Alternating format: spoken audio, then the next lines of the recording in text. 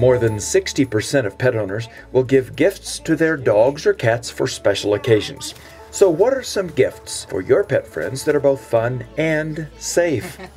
it's been said that a tired dog is a good dog, and so any toy that encourages activity will help burn calories and might even keep your pet from misbehaving.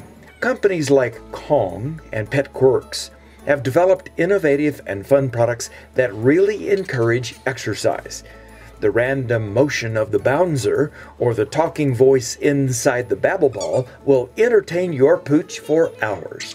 Don't forget about encouraging your flabby tabby to exercise also. There's a babble ball for cats or a wide variety of kitty teaser toys designed to provide good physical activity for a somewhat lazy cat.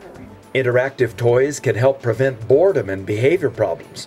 Knowing how smart many of our pets are, companies like IQ and Premier Pet Products are working hard to find new ways to stimulate your dog's mind. Feeding stations that stimulate hunting activity, or toys that provide treats when a puzzle is solved, are perfect examples of just two products that engage your pet's mental capabilities. Also consider other gifts beyond toys, like how to best protect your pet. If your pet is ever stolen or lost, having a microchip implanted can get him back to you quickly. Also, a good pet health insurance policy can lessen the financial impact of a tragic accident or illness. Millions of pet owners find pet health insurance invaluable, and what a great gift idea.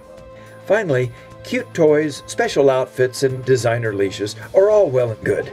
But the very best thing you can give your pet is the gift of time with you. Give your pet some of your time every day for play, grooming, and exercise. Your veterinarian can help you find the right activities for your pet's abilities and suggest safe toys to keep your pet physically and mentally healthy.